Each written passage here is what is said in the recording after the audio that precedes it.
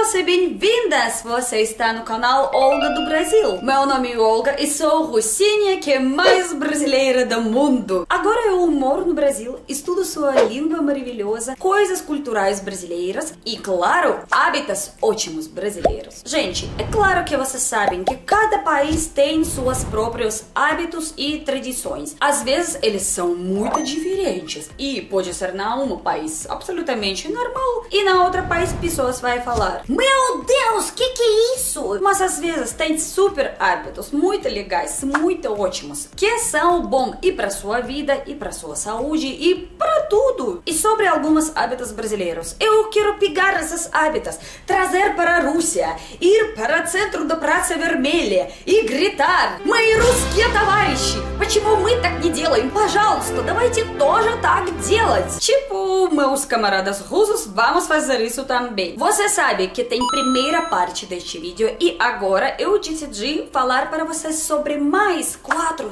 hábitos brasileiros. São tão legais que eu adoro e agora eles são meus hábitos também. Então, quais hábitos brasileiros eu vou levar comigo para a Rússia? Você está pronto? Vamos lá!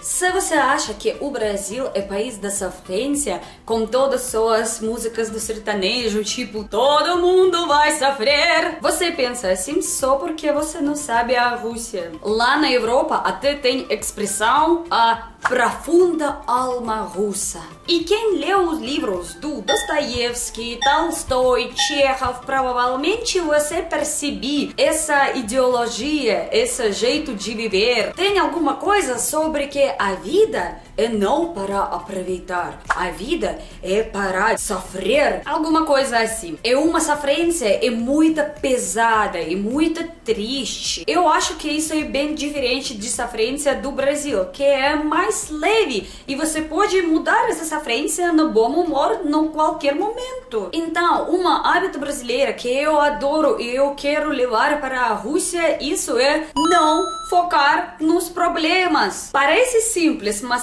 isso não funciona muito na cultura russa. A gente tem essa ideologia e até filosofia sobre se alguma coisa aconteceu errado, você vai ficar triste. Hoje amanhã, depois da manhã e provavelmente no próximo mês também. Até tem muitos provérbios na Rússia que, tipo, se aconteceu alguma coisa com você e no próximo dia você vai já sorrir, pessoas vai pensar que você está louco um pouquinho, porque por que você sorri? Você tem problemas? Não pode sorrir. Você tem alguns problemas em casa ou com sua trabalho? Não precisa ir para o barzinho, precisa ficar em casa e pensar sobre isso. Pode ser escrever algum livro. E pessoas realmente fazem isso. Eles, tipo, muito pensam: por que isso aconteceu comigo? O que eu fiz errado? E eles focam no problemas, focam realmente. Mas aqui no Brasil, eu aprendi que se alguma coisa aconteceu errado, isso não é final da vida.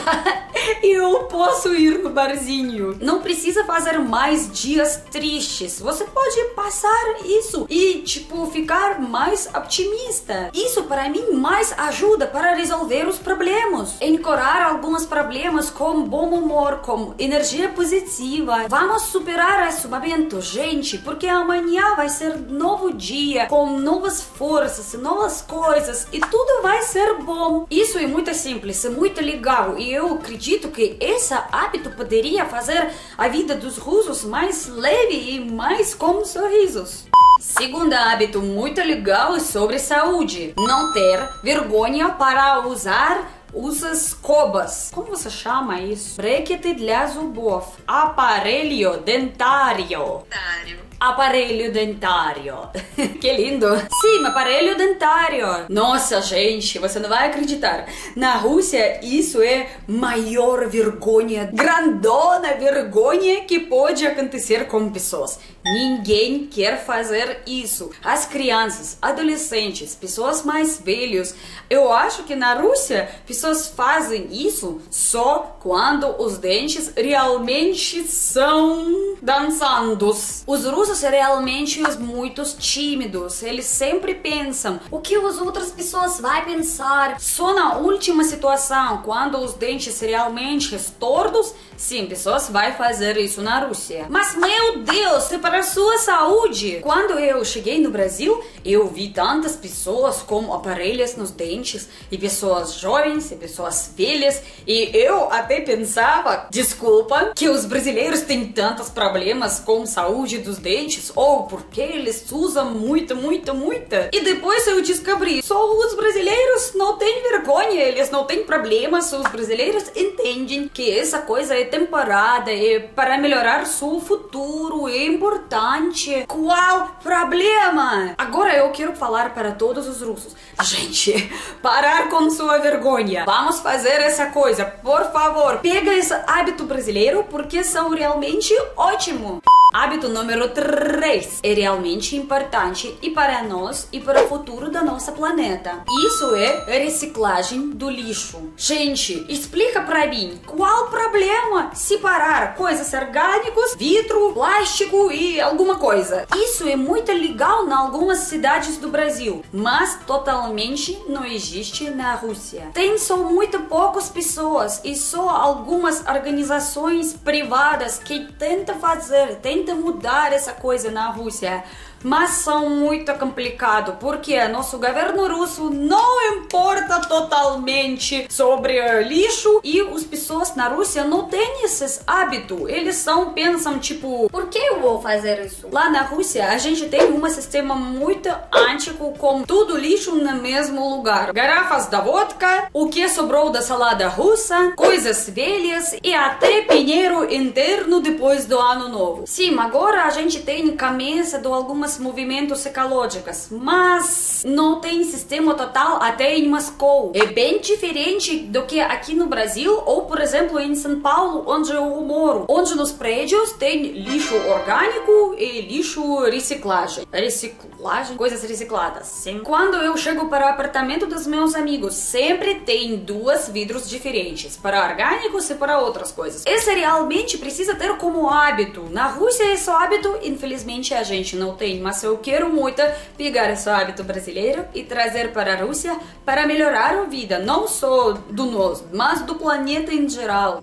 E número 4, hábito brasileiro que eu adoro e realmente quero trazer para a Rússia. É liberdade para vestir qualquer roupa você quer. Sério, gente, na Rússia, até nas nossas tias, tem essas ideias sobre estilo das pessoas muitas clássicas e muito conservadoras. Tem essa ideia que para qualquer idade ou para qualquer situação sempre tem dress code. E se você não faz essas regras, pessoas pensam que você tem falta de educação. Por exemplo, se você é criança, precisa vestir assim. Se você é mulher adulta, você precisa usar roupa mais séria, com menos cores. Se você é mulher que tem mais do que 50 anos, você não pode usar muita curta saia, não pode. Como homens, mesma coisa. Se você é homem mais velhas, você não pode usar camisetas com algumas cores muito chamadas, ou camisetas em geral. Claro que nas cidades grandes, como Moscou, São Petersburgo, não sei, outras, não tem muitos esses problemas, tem mais liberdades. Mas no interior da Rússia, pessoas são muito conservativos. E se você menina com cabelos curtos, provavelmente eles vai fazer para você perguntas. Se você é homens com cabelos mais longos, provavelmente eles vai fazer perguntas para você também. Eu gosto que os brasileiros não têm esse hábito para criticar outras pessoas ou até para não criticar sem mesmo. Fala sério, gente. O cabelo são meus e eu faço o que eu quero. Aqui no Brasil são bem diferentes, né? Eu vejo pessoas que usam roupa qualquer eles querem. E eles fazem com cabelos o que eles querem, com as pernas para fora, com mais decote. Você pode fazer tatuagem qualquer quantos anos você tem, cabelos coloridos, roupa colorida para qualquer pessoa. Qual o problema? Por exemplo, às vezes eu adoro vestir a roupa que é mais retrô, mas algumas pessoas na Rússia não poderiam entender isso e eles falavam para mim tipo: Você ainda não tem 80 anos? Por que você veste isso? O quê?